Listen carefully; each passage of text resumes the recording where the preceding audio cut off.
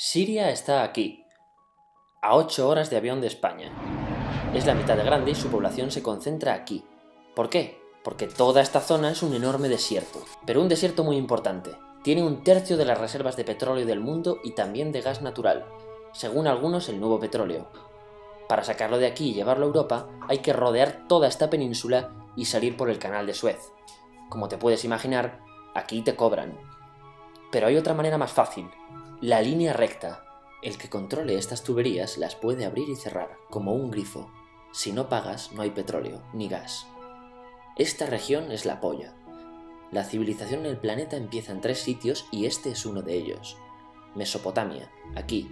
Sumer, que te sonará menos, pero es el puto inicio de todo. Aquí también. ¿Recuerdas la Torre de Babel de la Biblia? La hicieron estos tíos. Egipto, aquí. Siempre ha sido un punto de contacto entre Oriente y Occidente dando a Asia salida al Mediterráneo. Quizá por eso aquí nacen las principales religiones monoteístas, el judaísmo, el cristianismo y el islam. El islam es el último que llega y de hecho acoge a las dos anteriores.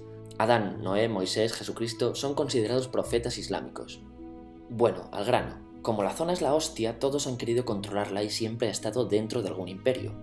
Persas, griegos, los romanos.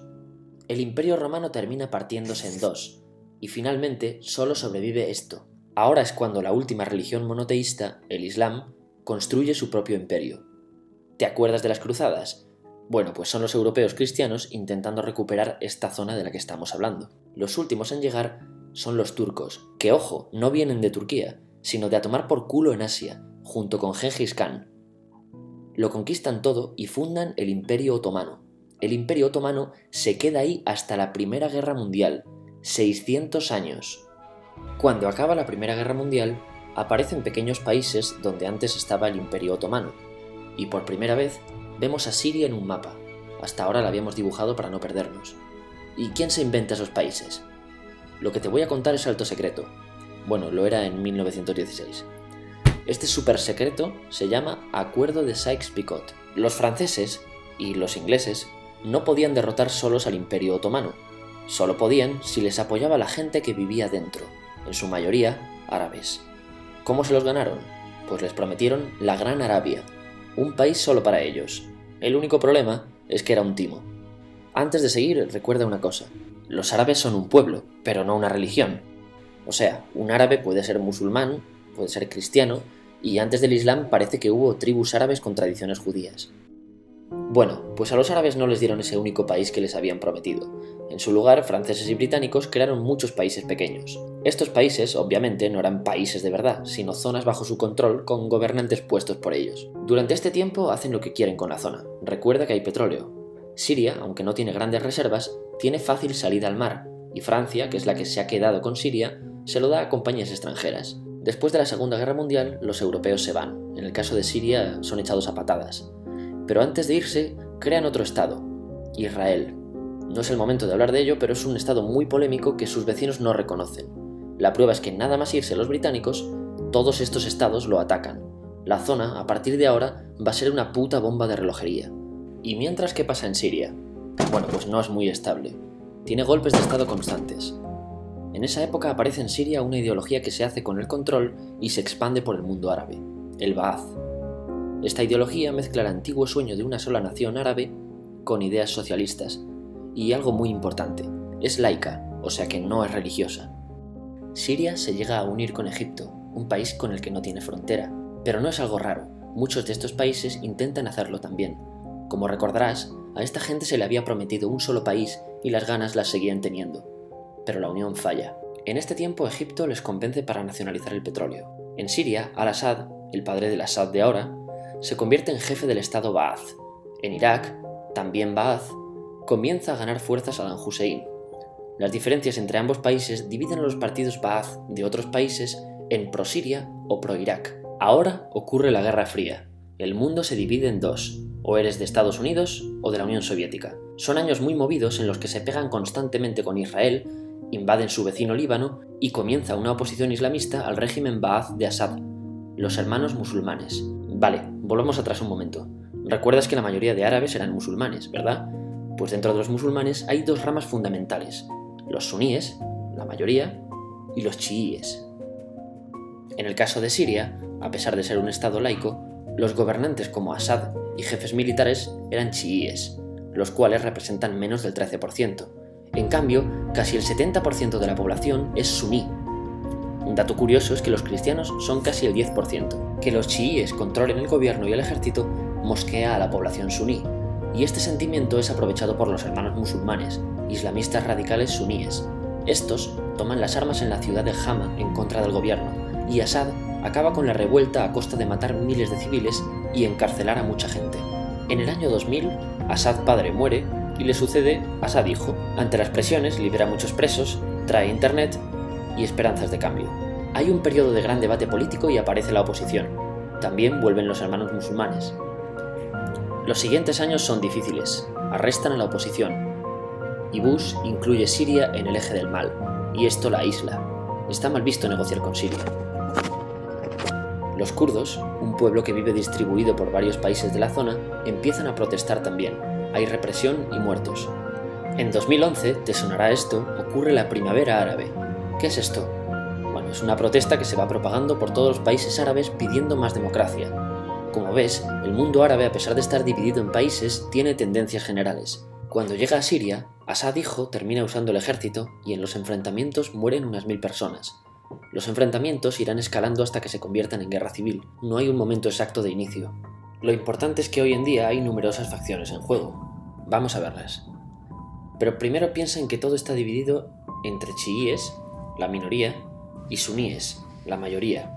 Chiíes y además laicos, o sea, no religiosos, son el gobierno de Al-Assad. Controla todo esto, que si recuerdas son básicamente las zonas chiíes del país, el gobierno de Assad está enfrentado al resto. También mayoritariamente laico, pero suní, es el Ejército Libre de Siria o FSA en inglés. Junto con el Frente Islámico, que es religioso, y otros setenta y pico grupos más, forman una coalición que la prensa llama simplemente la oposición. También suníes e islamistas, pero radicales, son al-Nusra, llamados Al-Qaeda en Siria porque son básicamente eso, Al-Qaeda en Siria. Otros islamistas radicales son el ISIS o Estado Islámico. Salen de Al-Qaeda en Irak, controlan la mayor parte de Siria e Irak y se han hecho famosos por sus atrocidades. Su objetivo teórico impacta a muchos. Es un Estado Islámico a lo largo de Asia, África y Levante, aunque a ti ya te suena, ¿verdad? En naranja tenemos al pueblo kurdo, que recordarás porque el presidente al-Assad lo reprimió, al igual que gobiernos de países próximos también hacen, ahora controlan militarmente esta zona. Antes de terminar, repasemos los apoyos internacionales a fecha de octubre de 2015. Las fuerzas de Al-Assad son apoyadas por Rusia, que ya tenía base militar en el país antes del conflicto, por Irán y por China. Todos son países de lo que Europa llama Oriente. En contra de Assad, apoyando a la llamada oposición, luchan Estados Unidos, Turquía, Francia, Gran Bretaña y Arabia Saudí. Podemos terminar con algunas conclusiones. Te advierto que esto ya es pura opinión.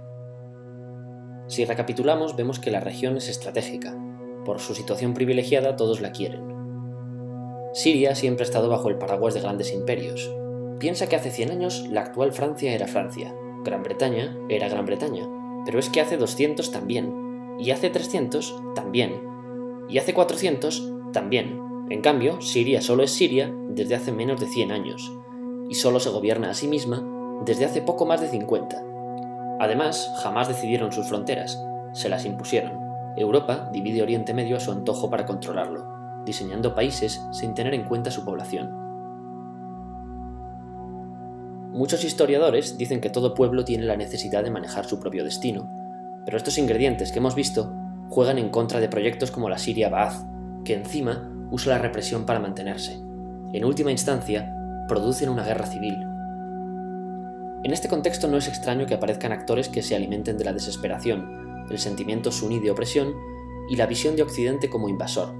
ISIS usa la identidad árabe y la mitología de antiguos imperios. Cuando quieras entender el presente, pregúntate, ¿y el pasado?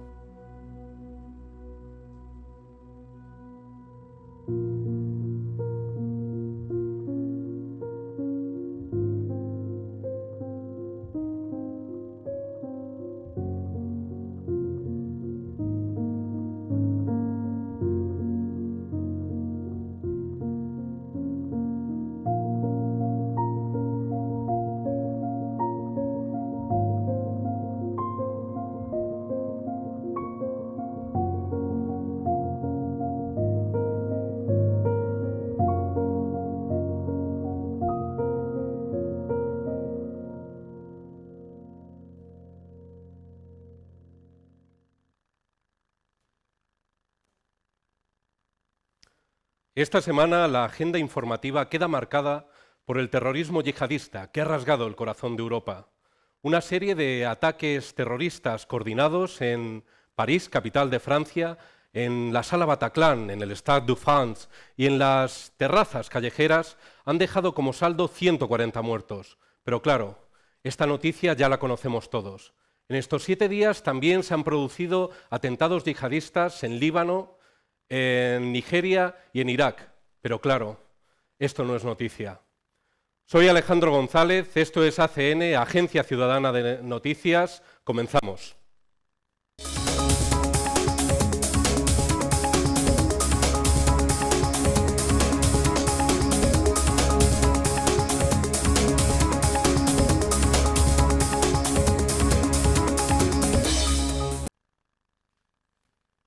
Como decíamos al inicio, esta semana es difícil encontrar cualquier otra noticia o cualquier información que no esté referida al terrorismo yihadista y a los atentados que recientemente se han vivido en Francia.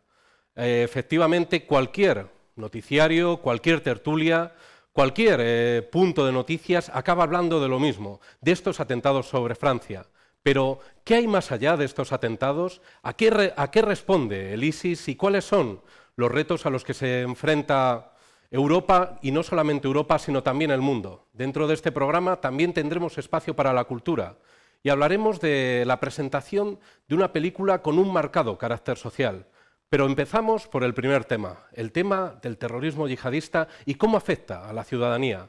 Para conocerlo más de primera mano, hemos enviado dos equipos que van a traernos la información y las noticias sobre cómo se vive a pie de calle esta situación, pero con un pequeño matiz. Estos equipos han ido a dos barrios de Madrid, de la capital, pero dos barrios con un marcado carácter, con un marcado diferenciado, una diferencia en su carácter social. Vamos a ello. Es eh, dolor por todas las personas que, que han muerto allí. Me siento muy mal porque realmente yo soy es una tierra que adoro. Mucho miedo de que pueda pasar aquí y con mucho terror, la verdad. Líbano, sino en Siria, eh, lo que está pasando desde hace muchos años. Pues yo no puedo hablar, no, puedo, no sé mucho de, los, los, movimientos estos. ¿no? En Siria, pasa en Líbano, pasa en Gaza. Seguro o inseguro, pero igual. Yo creo que en la vida nunca nadie no está seguro. Menos. Que se suspenda un partido de fútbol, pues me parece una tontería y me parece bien. Eh, que suspendan otros derechos o derechos civiles más graves, habría que pensarlo, porque si no podríamos caer en un, un estado de emergencia continuo y eso tampoco creo que, que, deba ser. Hombre, yo pienso que hay que tener mucha seguridad. No. Eh, ¿Dispuesto a hacer daño? Pues no tengo palabras, no sé. Pues como unos terroristas y bueno, tampoco me sale nada bonito hacia ellos o que matan, aquí son unos asesinos. ¿Cortar el grifo del dinero? No, no lo sé, no sé, no sé exactamente, porque no, no, no estoy informado lo suficiente como para... Pues es que yo, es que yo soy peluquero, artista, los artistas somos muy liberales. Hombre, creando una guerra no, como lo que quieren hacer no, eso está claro. Lo que sí debería hacer España es, eh, en mi opinión, acoger refugiados, más que otra cosa. Yo no estoy de acuerdo que, que hay que matar por matar, ojo por ojo no vale eso. Que se diga de prever estas cosas ayudando a la gente en los países de origen. Son gente cafre que la justicia tiene que hacer todo lo posible para evitar eso y encarcelarlo. Horrible, he estado viendo en Francia y chocada, la verdad. Que hay que ayudar a la gente en su país, que haya una democracia en estos países. Ahí hay que eliminar el mal de raíz. Eh, también está muy mal, pero porque eso viene ya un poco en conflicto con el Arasad, eh, en fin, eh, luego las, las tribus. A ver, está sucediendo cosas horribles en todos los países, no solamente aquí. Igual, de seguro, que no hago daño a nadie. Seguro me siento siempre, pero hay que tomar precauciones. Me siento segura y lo que hay que hacer es manifestarse y apoyar a la gente que está, que está pasando por esto. La verdad es que los derechos civiles que tengo son tan pocos que ya, si me quitasen algo... Sí. No.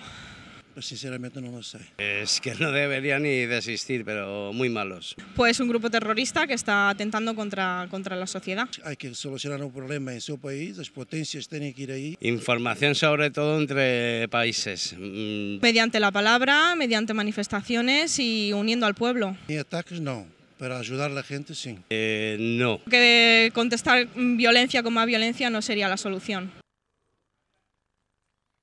Estas son las opiniones en el barrio Salamanca y en el barrio de Vallecas. Como podemos ver, a veces la verdad también va por barrios. Y para conocer un poco más, estamos con uno de nuestros reporteros de calle. Estamos aquí con Víctor. Muchas Buenas gracias noches. por venir. Buenas noches.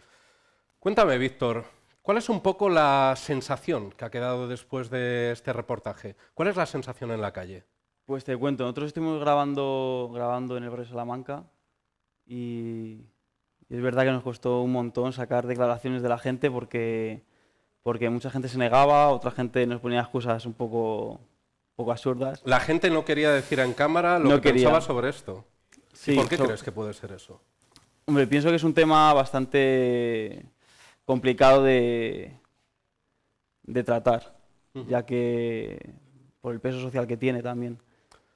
Bueno, hay una cosa que la verdad que me ha dejado completamente sorprendido y es ver a Rupert eh, dentro del vídeo, el, el famoso peluquero de folclóricas y millonarias que aparece aquí para hablarnos del ISIS. ¿Cómo habéis conseguido a Rupert? Pues fue curioso, porque estamos, estamos, creo que estamos por la calle Velázquez, puede ser, y y estamos buscando a gente para entrevistar, y de repente nos aparece una persona que no- nosotros no sabíamos quién era porque no, no le conocíamos, y nos dice, hola, ¿qué tal? Soy Rupert, no sé qué. Eh, Se presentó se directamente. presentó como él, vino a nosotros a, a- a las cámaras y, nos dijo, ¿qué tal? Soy de Vallecas, ¿verdad? Y nosotros, sí, sí, estamos grabando un reportaje sobre esto, tal, no sé qué. Y ya él pues dijo, venga, entrevistarme. Le contamos un poco de lo que estábamos, del tema que íbamos a tratar y le pareció perfecto. Bueno, la verdad que en ese sentido añade una nota de color y también, es cierto, el de una persona que ha estado viajando a lo largo del mundo por sus responsabilidades peluqueras. Muchas gracias por el reportaje, Víctor, y también muchas gracias por informarnos aquí un poco de lo que había detrás de ese reportaje. Muchas gracias a ti. Pues continuamos ahora. eh, no sé cuál es mi cámara de todas, los problemas del directo. Continuamos ahora con una nueva sección que vamos a incorporar en la cual vamos a intentar buscar un poco de un poco lo que hay en las ondas, conocer no solamente las opiniones que vemos a diario, sino también a veces esas opiniones difusas que aparecen dentro de determinadas cadenas, dentro de determinadas vías de pensamiento. Esta nueva sección de momento la conocemos como interferencias y vamos a ver qué aparece en cierta cadena en torno al ISIS y las maneras de solucionar el desafío terrori- terrorista. Interferencia. Yo soy partidario de aplicar la teoría de que si hay que ir, se va. Pero España tiene que jugar el papel que le corresponde a España. Eh, Como colonia, como Dresde, el carpet bombing. Es decir, hay que, hay que hacer lo que se llama el formateo, que es le das al ordenador y se queda limpio. A lo mejor lo que hay que hacer también es mucha pedagogía social. La guerra no es simplemente matar por matar. La guerra también es conquistar y reafirmar la paz. El reseteo. Como una era. Como una era. Hay un 30% de europeos que entienden que lo que ha ocurrido es fruto de lo que hizo Occidente bombardeando Siria, yendo a Bueno, aquí en Irak, España, sobre y todo. todas esas Aquí en España. mandangas que al final lo que nos han llevado es de forma permanentemente y como si fuéramos plañideros a decirnos todos los días, ay, ¿por qué nos tienen tanto odio? Ay, ¿qué les hemos hecho? Ay, ¿qué les hemos hecho? No les hemos hecho nada. Vamos, como como los aliados de un tema a Dresde, otro. como los aliados Colonia, como los soviéticos Berlín, que se sientan como se sintieron los alemanes cuando los rusos entraron en Berlín. A ver, un momento. El islamismo moderado es una contradicción en sus propios términos, o como dicen, según a las figuras literarias, un oxímoron. Es decir, es como si dejemos la noche es blanca. Tigre y vegetariano, Pues, la noche es blanca, no, coño, la noche es negra. Y el islamismo moderado no existe. En la leche. De verdad, joder, con perdón. Joder, vamos a, vamos a ser disciplinados, hombre. Yo- yo- y no es Podemos, es un 30% de la población de Europa que entiende que lo ocurrido ahora es fruto de los errores cometidos en su día No nos tenemos que arrepentir de nada. Los culpables y los asesinos son ellos. Que son los mismos que dicen siempre, yo condeno la violencia donde venga, pero cretinos, si la violencia solo viene de un lado. Pero claro, eso no lo puedes explicar a los españoles. Es muy difícil, porque solo el 16% de los españoles estaban dispuestos a morir o a dar la vida o a luchar, a matar a luchar por la defensa de España. Yo era un principio que yo no pude. Yo no me voy a poner el casco ni me voy a ir a la guerra. La gente está protestando y con razón. Y además el tono es que estáis histéricos. No, déjame terminar, no, vamos a ver, pero termina ya, Jaime, por favor. Sí, Os pido brevedad. es que ¿eh? Ahora sí, eso no me voy a como si hubiera dicho Hombre, una barbaridad. Venga, Yo no estoy criminalizando a la gente que profesa la religión islámica. Pues parecía. No estoy, pues no, pues Pues- la pues- porque, pues- porque, porque con la teoría sabuenista no se puede No, decir no nada. Joder, aquí no se puede decir nada. con la ¿Y gente sabes lo que pasa?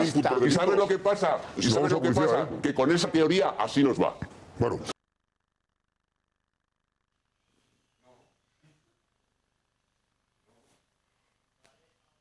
Pues menos mal que, que no le dejaban decir nada al bueno de Jaime González, porque si le dejan un poco más, no sé dónde acabaríamos. Como, como decía Alfonso Rojo, tierra quemada y reset. Eso es parece lo que, lo que pide alguna gente a la hora de enfrentarse al ISIS. Contamos ahora con nuestra pequeña tertulia política. Tenemos hoy un panel de lujo con cuatro invitados e invitadas. Por un lado tenemos a Pilar, poeta, muchas gracias. Antonio, historiador y politólogo, gracias. Tenemos también a Alex, analista político. Y tenemos también a Cristina, consultora política. Muchas gracias y buenas noches a todos vosotros. Buenas noches. Buenas noches. Vamos a analizar un poco a saber qué es lo que hay detrás del ISIS y también de los atentados terroristas. ¿Por qué se está produciendo esto? Y sobre todo, ¿cuáles son las respuestas que desde Occidente y también desde la comunidad internacional podemos plantear para ello? Para eso vamos a empezar eh, comentando en principio lo que es el ISIS. ¿Qué, qué es el ISIS? ¿Qué- Vamos a hacer una definición rápida. ¿Cómo veis cada uno de vosotros y vosotras el ISIS? Empezamos por ti, Pilar. Eh, bueno, para mí el ISIS es producto de una atmósfera de nihilismo presente en la sociedad árabe. Eh, el ISIS se alimenta de, de las tremendas desigualdades que hay, que hay en esta sociedad y para entender el ISIS, por supuesto, hay que entender esas desigualdades y, y- y lo mal que lo están pasando. Es decir, estaríamos hablando de unos orígenes estructurales dentro de, de esos territorios que dan como lugar a, a la expresión violenta dentro del ISIS. Eh, Antonio, ¿tú cómo, Yo- cómo situarías al ISIS? En mi opinión, diría que es un Estado en construcción. O sea, está partiendo de una base posterior a una guerra en la zona, que es la guerra de Irak, y está intentando construir y establecer las bases de lo que se conocería como un Estado distinto a los nuestros en cuanto a los valores o, o instu- in- instituciones, pero desde luego un Estado, en definitiva. Y Cristina, ¿tú cómo lo observas? Yo coincido contigo a medias con que es un Estado. eh, posiblemente sea un Estado en construcción, pero si nos atenemos un poco a las definiciones clásicas de Estado, no lo es en absoluto. Primero, porque no tiene un territorio definido y segundo, porque no tiene el monopolio del uso del poder en su, en su propio territorio que consideran Estado Islámico. Con lo cual, yo ahora mismo lo veo como un, un grupo rebelde de los muchísimos más que hay en, en la zona en estos momentos. Alex, ¿cómo observas tú al ISIS? Bueno, coincido también a medias con mis compañeros sobre que es un Estado, pero creo que entrar en ese debate es legitimar a un movimiento terrorista. Si les damos la categoría de Estado y de ejército, al final nos vemos abocados a una participación militar, porque la única forma de combatir a un Estado, aparte de aislarle, es intervenir militarmente.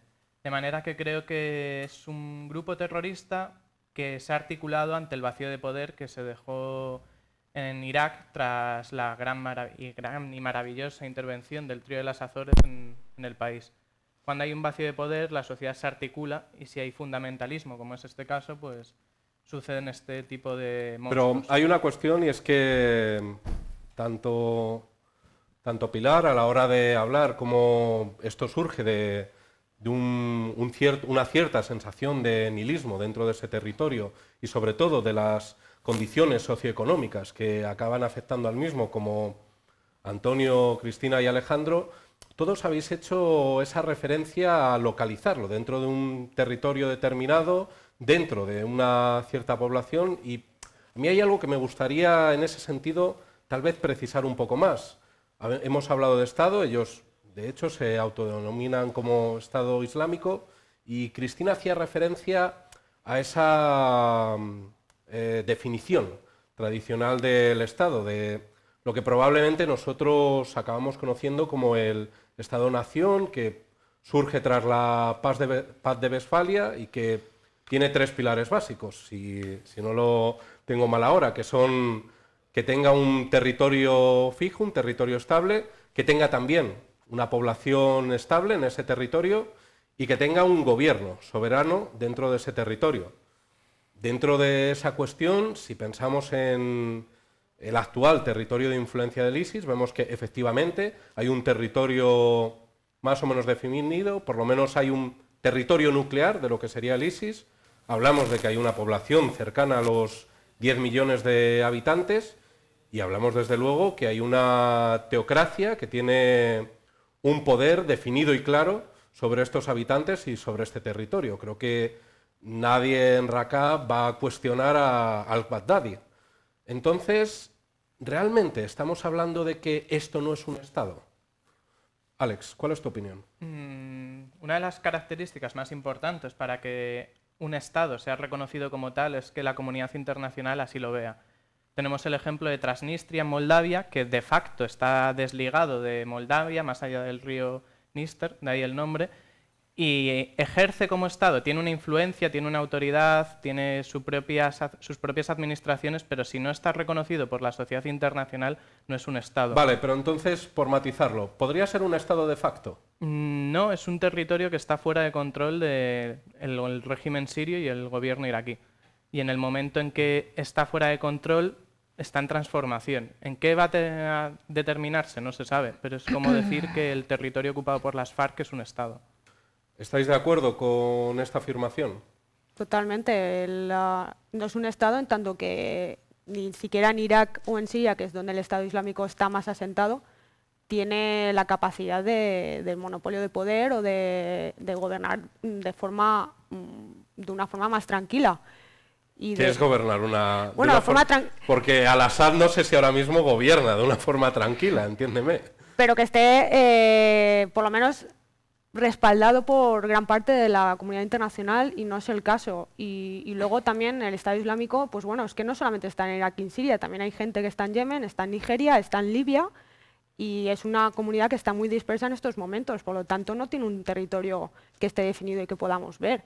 Y de hecho ese es uno de los mayores, mayores problemas que está habiendo en este momento a la hora de afrontar afrontar este problema, porque no se sabe muy bien a dónde atacar, a dónde ir. El Estado Islámico en estos momentos está puede estar en Francia también, puede estar en Alemania. Y ese es el problema que existe en estos momentos. Eh, en ese sentido, tal vez una cuestión importante también sería hablar de que ellos se autodefinen como califato, lo cual es una forma islámica tradicional de Estado que no es realmente lo que nosotros venimos a entender en, dentro de nuestra tradición occidental como Estado. Eh, Tal vez ahí sí que podríamos hablar un poco de que sí se pueden acercar más a esa definición de califato. Recordemos que el califato Omeya, por ejemplo, también expandió sus redes a lo largo del Mediterráneo, no tenía un control directo sobre, sobre esos puntos, sobre los puntos mediterráneos, pero sí se reconocían a sí mismos como, como miembros del califato. Y un poco llevado por la camiseta de nuestro compañero Antonio de precisamente la, organización terrorista Hydra, una organización de, los cómics, pero que bien puede servir aquí para entender cuál es la tal vez la política exterior del Estado Islámico y sobre todo el tipo de campaña militar que están desarrollando. Una campaña que se basa no tanto en una cabeza, sino en tentáculos que aparecen y desaparecen, aparecen hoy en París, eh, mañana en Líbano y pasado mañana en un avión volando sobre Egipto. Amplíanos un poco más esa... Yo es que no, no, no, estoy de acuerdo en ello, sino que yo lo que veo es una clara diferenciación entre lo que se podía considerar un Estado Islámico y los ciudadanos del mismo, que se puede concentrar relativamente entre Irak y Siria, y otra cosa es los tentáculos, como se dicen, que son ataques terroristas que se pueden coordinar, que probablemente tengan un punto de apoyo o hayan sido entrenados en los Entonces tú si ves un núcleo que sí podría constituir eh, unos visos de Estado. Que podría llegar a constituirlo si consigue tomar el poder y... Un poco lo que decía Alejandro de que ahora mismo es un territorio en transición, tal vez de, una entidad de bandas, por así decirlo, a algo más organizado. Podría llegar a serlo. De hecho, tengo entendido que están de momento recaudan impuestos, lo cual es uno de los principales. Y hay servicio de recogido de, basuras. no sé si llegan a cambiar las luces en, las farolas, pero si tienen bombardeo bombardeo. ¿Eh? Entre bombardeo y bombardeo, no. Pero desde luego sí que podemos hablar de que en el momento que el Daesh, el ISIS, ha asumido el control sobre esa zona, sí está realizando una construcción social propia, sí está por lo menos intentando transmitir esa imagen de que ahora son el gobierno soberano y, el único gobierno posible. ¿Cómo lo ves tú eso, eh, Pilar? ¿Cómo consideras que... Tú comentabas que todo esto surgía de un cierto impulso nihilista. ¿Cómo observas que un impulso nihilista se puede llegar a transformar en algo tan establecido como un Estado? Bueno, yo creo que a ISIS en principio la sociedad no le importa. El tema del ISIS es un conflicto por el poder. las desigualdades sociales y no importan. La mujer está relegada a un segundo plano y ahí no hay una construcción de Estado como tal en el sentido de que Em, no han separado la religión de, la política. Entonces, creo que esa es la dificultad eh, que van a tener para constituirse como Estado. Sus leyes em, están vinculadas a, la ley religiosa. Entonces, creo que, ese es el, gran, el gran problema, que, que hasta para ellos puede ser un, un propio parásito que se acabe adueñando de del poder que ellos mismos quieren acoger, están muy limitados por sus propias creencias. Entonces, Pilar, ¿consideras que el hecho de que sean tan teocráticos va a acabar limitando su, propia, su propio crecimiento como Estado?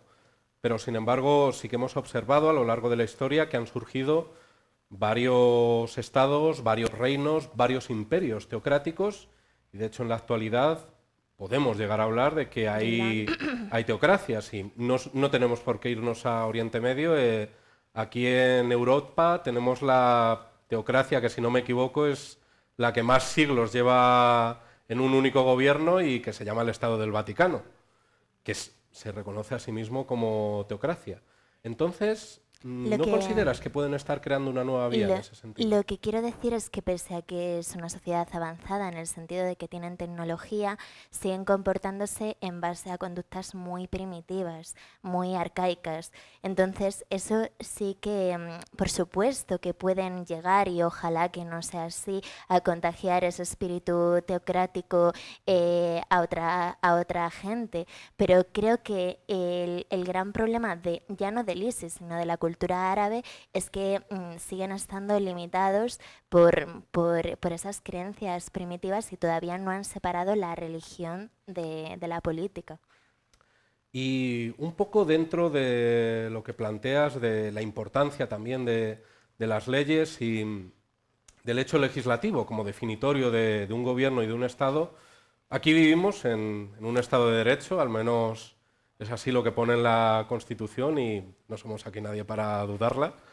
Y estamos viendo un desarrollo actual que precisamente es el de crear nueva legislación que de alguna manera pueda contener esta forma de terrorismo. Eh, España, lamentablemente, es un Estado que tiene una amplia tradición terrorista, por así decirlo, y que durante décadas hemos vivido la lacra del terrorismo. Pero ahora nos encontramos con un nuevo tipo de terrorismo que parece que nos supera y que nos lleva a buscar nuevas formas de combatirlo. Estamos hablando, por supuesto, del pacto antiyihadista que han suscrito los hasta ahora principales partidos hegemónicos, el Partido Popular y el Partido Socialista, y que de alguna manera eh, viene a establecer medidas extraordinarias, pero que también pueden acabar siendo extrajudiciales y extraconstitucionales. Cristina, tú como experta en legislación, ¿cuál es el punto de vista que tienes sobre el pacto antiyihadista? ¿Qué significa realmente? Pues el pacto surgió tras los atentados de Charlie Hebdo en enero y esto propició que el gobierno español se diera cuenta que ante la nueva amenaza que existía en estos momentos, este nuevo terrorismo que no se parece en absoluto al que, al que nosotros estábamos acostumbrados con ETA, se vio la necesidad de, cambiar la normativa existente. Entonces, en ese sentido, el pacto era necesario porque, por ejemplo, si no pensamos en el Código Penal, el, que tenemos actual, el, que teníamos anteriormente venía del año 95 y, por lo tanto, había muchos muchos delitos, como por ejemplo todos los que se, se pueden cometer en Internet o en las redes sociales, eh, que ya sabemos que el ISIS está actuando mucho en esa, en esa área, no estaban tipificados ni se podían penar. Por lo Pero tanto, es necesario, perdona, es necesario que para legislar algo como las redes sociales, que eh, todos y todas entendemos que son una nueva realidad y que como tal sí es necesario un tipo de legislación, pero ¿es necesario meter la legislación de las redes sociales dentro de un pacto antiterrorista, antiyihadista? No, el pacto simplemente decía que era necesario modificar el Código Penal para tratar ese tipo de, nuevos delitos. No te decía exactamente lo que tenía que cambiar, sino que se tenía que modificar. Y de hecho, en ese momento, el Código Penal ya estaba siendo revisado por el Congreso de los Diputados. Y simplemente lo que se hizo fue hacer una proposición de ley que se pactó entre diferentes partidos que iba a modificar esos aspectos que se consideraba que el Código Penal necesitaba y además otra ley que había en ese momento en tramitación, que era la, ley de enjuiciamiento criminal, que esto venía del año 1884. No se actualizaba desde entonces. Y había, no había Twitter por aquella época. Exacto, había una infinidad de tipificaciones eh, que, no, que no estaban, no se contemplaban y era muy necesario actualizarlo para poder combatir este tipo de terrorismo.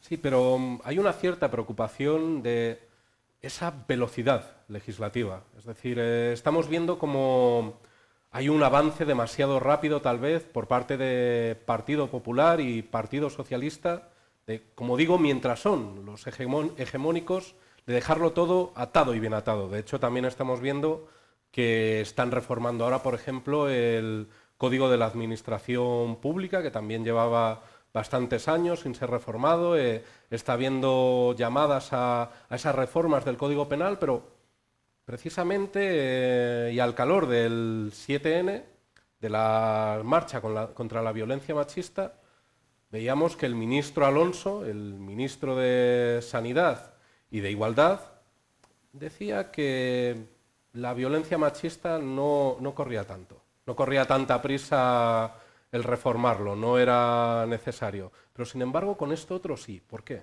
Eh, yo creo que también es una cuestión del año en el que nos encontramos. Es un año electoral en el que este tipo de medidas pueden pesar mucho en, los resultados que pudieran haber, por ejemplo, en las elecciones de mayo o las próximas de diciembre. Y no es un hecho aislado, o sea, no se ha acelerado la tramitación del, Código Penal, del ALECRIM o de otras leyes que afectan al terrorismo, sino que si tú yo que estaba siguiendo la legislación, o sea, el, trabajo del Congreso y el Senado durante todo este último año, el trabajo ha sido, mm, vamos, de locos, de aprobar leyes como churros e intentar sacar cuantas más cosas antes. Entonces yo creo que es más por el año en el que nos encontramos de es necesario aprobar cosas y rápido porque eh, las Cortes se disuelven en octubre y esto tiene que estar todo zanjado antes de que nos vayamos para que podamos obtener rédito electoral en diciembre. Y Cristina, dentro de eso que mencionabas, de que nos encontramos efectivamente en un año electoral, mm, a mí me llama la atención una cosa y con esto voy a abrir también la cuestión al resto, y es la posición de los nuevos partidos con respecto a la ley antiyihadista. Hemos visto como Ciudadanos ha ido a gran velocidad a, sumarse al, proyecto de, vamos, al pacto antiyihadista. Y es más, eh, escuchábamos, me parece que era esta mañana, que llamaban a, a, ir a la guerra si fuese necesario, si la OTAN así lo reclamase, pero no parecía tanto como que les estaban llamando, como había una cierta sensación de que nos llamen, que nos llamen, que, aquí estamos para servir.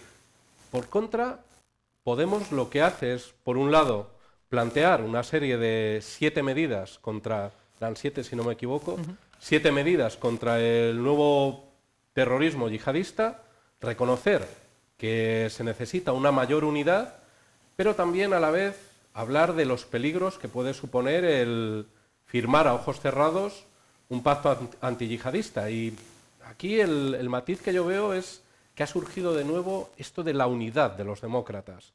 Es decir, en lugar de, para una cuestión de Estado, reconocer que todas las voces de todos los partidos tienen que valer y contar, lo que hablamos es, no, es la unidad de los demócratas. Y el que no está en la unidad de los demócratas, no es demócrata. ¿Cómo ves tú, Cristina, estas posiciones? Y la pregunta también vale para, para el resto del panel. Eh, en principio la, posición de Ciudadanos no me extraña en absoluto porque ha estado demandando pactos de Estado a diestro y siniestro de cualquier cosa, ya sea la educación, ya sea de la sanidad, cualquier cosa. Por lo tanto, es poco, un poco seguir la, dinámica que venían siguiendo. En cuanto a Podemos, eh, no me parece mala su, posición en el sentido de que no porque estemos en un estado de crisis o de eh, terror en estos momentos haya que aceptar cualquier cosa que te pongan encima de la mesa.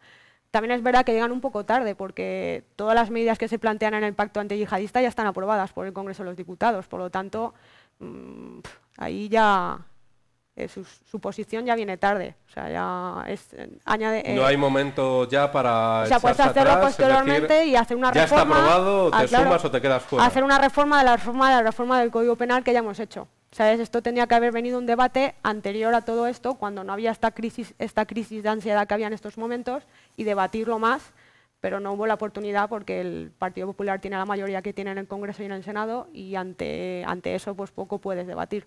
Alejandro, ¿cuál es tu posición? bueno, ahí Podemos e Izquierda Unida están siendo los garantes de los derechos civiles. Hemos visto en la historia, si leemos la doctrina del shock de Naomi Klein, cómo los gobiernos conservadores tienden a legislar en caliente. En cuanto la ciudadanía sufre un shock, se aprovecha para hacer recortes sociales y económicos. Y lo que ha pasado en España en enero y ahora con los atentados de Bataclan en París es que han aprovechado la situación para recortar derechos. Lo están haciendo en Francia, así que esperemos que sean un poco más consecuentes y no hagan los cambios express en la Constitución y lo quieren hacer en España. Podemos Izquierda Unida están quieren debatir qué es lo que se va a aprobar, mm, hablemos con todos los expertos y no tomar medidas en calientes porque es muy peligroso. No, pero precisamente sobre lo de las medidas en caliente, lo hemos visto en el vídeo de interferencias, como se acusa a la izquierda radical de equidistancia con el terrorismo, de no ser demócratas, y hemos visto en el vídeo como voces que teóricamente son conservadoras, que son de de mayor relajo, lo que piden precisamente es entrar, entrar con todo y hacer reset, hacer tierra baldía. Mm, una era, una era eran las palabras de lo que quieren hacer. No quieren, hacer, no quieren que haya reflexión y debate. O una reflexión sosegada con el tiempo un poco más lejano de los atentados y hablar con los expertos. Hay que aprovechar ahora porque la, la población está receptiva a que les recorten derechos y es lo que la derecha siempre en todos los países del mundo quiere aprovechar.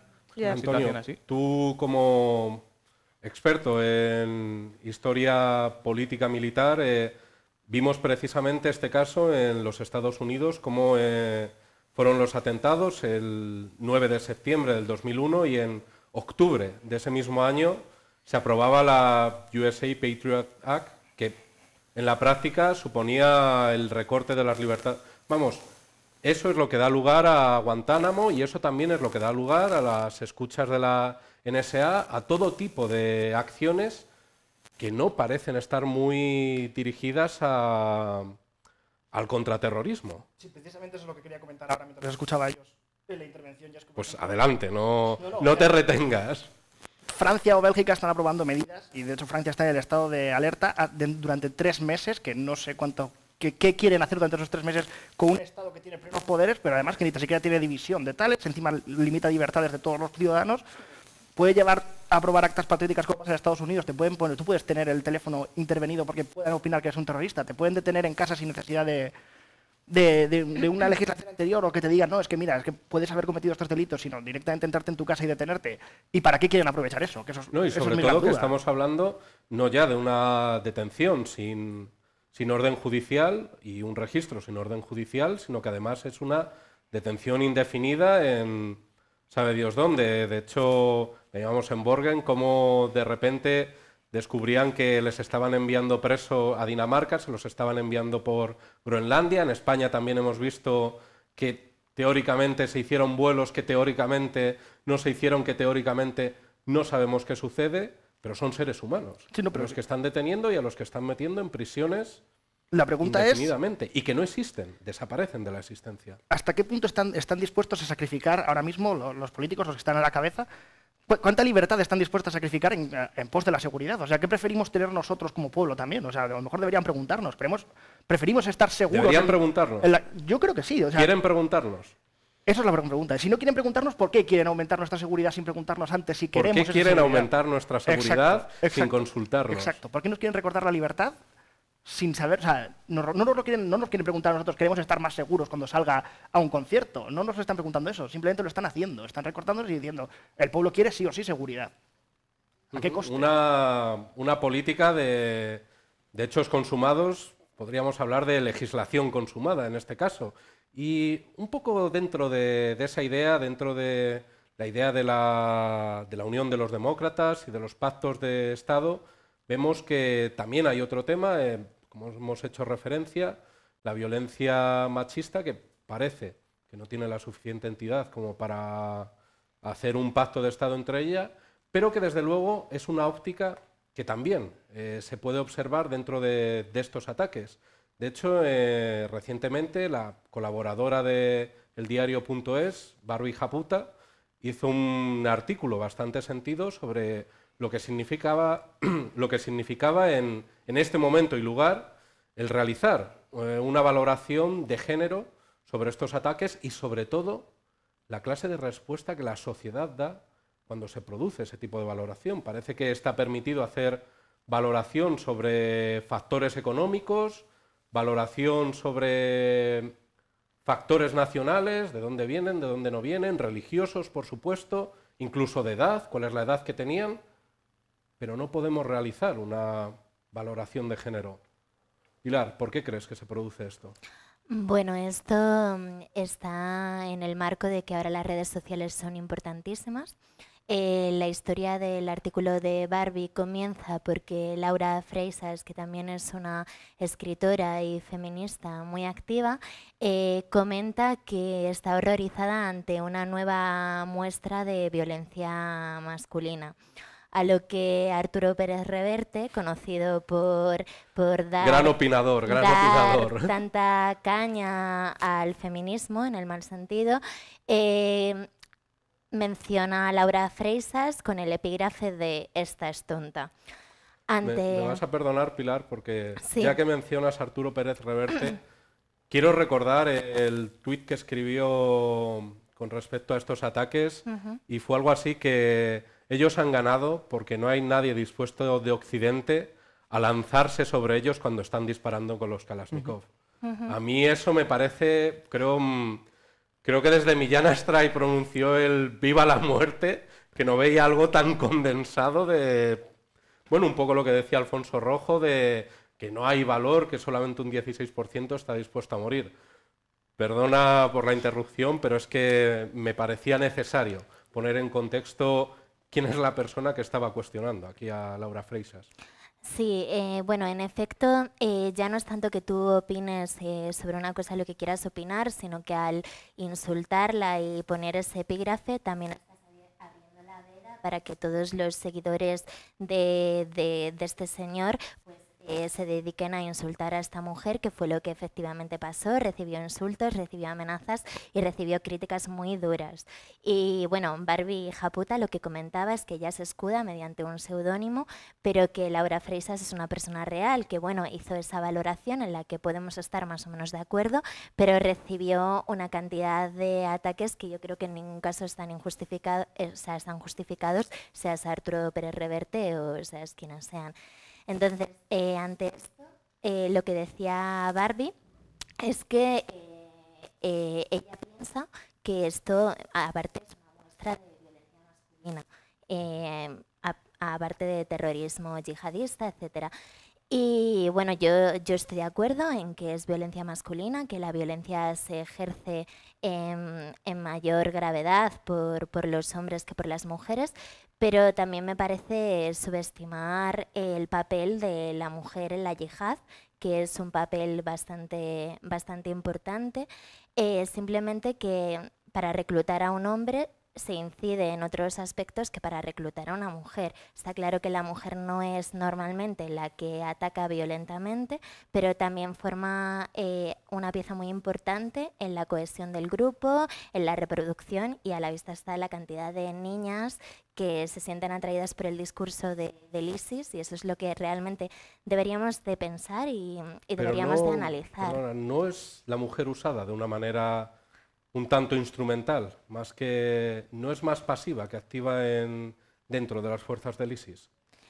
Por supuesto, porque el papel, el papel, digamos, activo, el papel protagonista es es para el hombre, pero eso, eh, la gloria, em, la gloria que les promete su religión está reservada para el hombre. Pero eso no quiere decir que la mujer no juegue un papel importante. A lo mejor es otro tipo de violencia, un tipo de mm, violencia que no, que no es física, que no se ve, pero por supuesto, y a mí lo que me preocupa es la cantidad de niñas occidentales que se van a esos países seducidas por el discurso de la yihad. O sea, ¿qué está pasando ahí? Porque yo puedo entender que una mujer que ha crecido en ese territorio esté, por supuesto, usada, no tengas otra opción, pero para que una mujer de Occidente, con todos nuestros privilegios occidentales, dentro de que esto también es una sociedad heteropatriarcal, cogerse sus maletas e irse a convertirse en esposa de la yihad, ¿qué está pasando? Es, mm, es a lo que realmente voy. Pues es ya poco el tiempo que, nos queda de tertulia. Vamos a tener que ir cerrándola aquí. Así que me gustaría un poco eh, en esa idea de qué es lo que sucede para que gente de Occidente acabe marchando hacia allá y también qué es lo que sucede para que algo que está en Oriente Medio acabe marchando hacia Occidente, ese intercambio de violencia, pues me gustaría conocer unos pensamientos finales de cada uno de vosotros. El que primero quieras, no empiezo a señalar. Eh, yo creo que aquí hay un problema muy de base y que todos los países que tienen una gran cantidad de inmigrantes, ya sea de primera, segunda, tercera generación, debería plantearse cómo solucionarlo. Este problema en Francia no es nuevo. En el 2005, con eh, los disturbios que hubieron en las Banlieues, en, en, las afueras de París. La última vez que estuvo en estado de emergencia. Exacto, ya sucedió esto mismo. Es gente francesa, estamos viendo que todos los terroristas que han intentado en, en París son franceses o belgas, son europeos, que no se sienten aceptados por la sociedad en la que han vivido. Son eh, son franceses, tienen eh, pasaporte francés, pero no se sienten identificados con esa sociedad que les rechaza. Y es, es, es, muy llamativo que en Francia tú tengas muchas más oportunidades de poder trabajar si te llamas François que si te llamas Mohamed, a pesar de tener un, pasaporte que sea de Francia, exactamente igual. Entonces, esta gente se siente rechazada por su propio país y lo que hace es eh, refugiarse en la, en la, religión, refugiarse en las mezquitas y acaba radicalizándose. Y yo creo que los gobiernos eh, de Europa... Refugiarse en las mezquitas no tiene por qué necesariamente llevar a la Exacto, sí, no, no quiero en ciertas mezquitas o en la radicalización, no quiero no quería eh, entrar en ese debate de que todos los islamistas son radicales, no, no, Jaime mucho González menos. ya nos lo dejó bastante claro. eso que quede claro, no, mm, lo decía de esa forma, que se sienten rechazados y se refugian en el radicalismo. Y ese es el problema que eh, hay que intentar solucionar desde Europa para que esto no suceda y que eh, esta gente nos, se integre en la sociedad de alguna forma. Desintegrados, que se refugian en el radicalismo. ¿Cuál es tu visión sobre el problema? Sí, sobre este punto, además, eh, enfocaba muchísimo un libro que escribió Jean-François Rebel, que se llamaba la, la, obsesión antiamericana, y en él comentaba sobre todo los problemas de Francia con respecto a la integración de, de este grupo y era básicamente el, problema que tenían en las escuelas y sobre todo que al no sentirse integrados dentro de esos núcleos, buscaban refugio y además él lo, decía también bastante o sea, muy generalizado, que se refugiaban en las mezquitas y en las mezquitas era donde se radicalizaban todavía más. Pero claro, todo esto está hablando de este señor antes de que esta gente fuera después desplazada hasta allí, en Siria o Irán o Irak, a recibir un entrenamiento militar y luego volver aquí para poder atentar. O sea, él está hablando de un momento en el que sí, que más coches. Pero una cosa es quemar un coche, otra cosa es saber poner una bomba, saber disparar una AK o muchísimas otras cosas que ahora sí saben. Un problema entonces que ya estaba presente en la sociedad y que ya era conocido. Eh, Pilar, soluciones, tu visión sobre esto. Yo mm, creo que es base, como, como decían mis compañeros, la integración, la integración social de, de estos inmigrantes en, en la sociedad, que, que sobre todo creo que mm, en realidad todo parte de un problema de inseguridades y de desigualdades, que son los gobiernos los que no están favoreciendo para nada acabar con, con dichas desigualdades. Creo que, que todo parte de ahí, de una mayor integración. Problemas de integración y problemas también estructurales de desigualdades. Alex, cierras el turno. Bueno, pues el problema de la integración es a largo plazo y como lo que importa en política y sobre todo en temas de seguridad es el corto, lo que hay que hacer en vez de legislar en caliente es reforzar las redes de inteligencia de los estados sin perder derechos civiles, sin que nos pongan escuchas a todos y a todas en nuestros teléfonos y sobre todo que haya un acuerdo internacional en el que nos, se sienten todos los actores políticos desde Irán, Rusia, Bashar al-Assad, los mm, rebeldes moderados, la Unión Europea, Estados Unidos, sentarse y llegar a una salida en la cual se unan fuerzas para combatir al Estado Islámico y una vez hecho eso, reforzar, como han dicho mis compañeros, los procesos de integración. No puede ser que los barrios donde más radicales hay tengan un 40% de paro. Pues con esa idea de Alejandro para solucionar el corto en base a los problemas que han estado señalando Cristina, Antonio y Pilar, nos quedamos con la necesidad de que haya un debate internacional, de que sobre todo haya una solución dialogada y no, una solución por parte de las bombas. Cerramos con un vídeo de la película Quiero actuar, que han realizado nuestros compañeros y compañeras, en el cual conoceremos una nueva visión, una forma de entender cómo desde todos los ámbitos de la sociedad se puede crear y se puede crear con fuerza.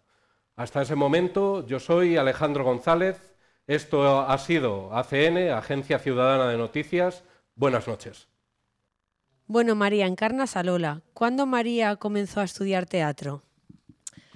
Pues yo creo que el primer contacto fue en el último año de, colegio, que yo tendría unos 13 años, y en, el, en, la función de fin de curso se representó Madre el drama padre de Jardiel Poncela y me dieron el papel de la tía Visita. Y a partir de ahí, bueno, había visto, era, soy bastante fanática de las series, he sido siempre fanática de las series, pero mm, empecé a hacer cosas a raíz del último año de colegio. ¿De quién fue la idea de trasladar esta situación a la pantalla? Bueno, pues la idea fue de Ana Utrecht eh, y mía, porque bueno, queríamos reiniciar nuestra andadura en el audiovisual. ¿Es cierto que tu padre no te apoyaba en esta ilusión que tenías y que sigues teniendo de ser actriz? Em, bueno, mm, como todos los padres, yo creo que lo que buscan es un, es un futuro con aplomo, ¿no? Eh, no que no te apoyen, pero que siempre buscan un, como dicen ellos, un trabajo que tenga más salidas. ¿Qué supone para ti la dirección de la película? Bueno, como he dicho antes, pues el retomar el audiovisual y poder hacer algo que me gusta, ¿no? que es contar historias con imágenes y más sobre un tema social. ¿no? ¿Qué le hace falta a la sociedad para que se socialicen con la diversidad funcional, en concreto con la parálisis cerebral? Yo creo que conocer gente con parálisis cerebral únicamente. ¿Qué mensaje queréis transmitir? Bueno, el mensaje, son varios mensajes. Uno de que las personas con, con discapacidad eh, pues pueden eh, realizar cualquier actividad normal, ¿no? como cualquier persona y entonces, ¿cómo se están comportando tus compañeros y compañeras en este acto? La preguntita, ahora que no me escucha nadie. No, no, la verdad es que son, son todos un regalo, la verdad, todos. ¿Cómo fuisteis creando los personajes? Mm, bueno, eh, los personajes, eh, bueno, eso es la guionista. Pero bueno, Y una última pregunta, ¿qué le dirías a la gente para que apoyase en el crowdfunding? Bueno, la cultura en España, por regla general, está, está bastante está bastante quebrada porque, bueno, lo que se lleva ahora es ver partidos de fútbol, que está estupendo, pero la cultura también es importante porque es llevar a tu país fuera y enseñar cosas de tu país fuera.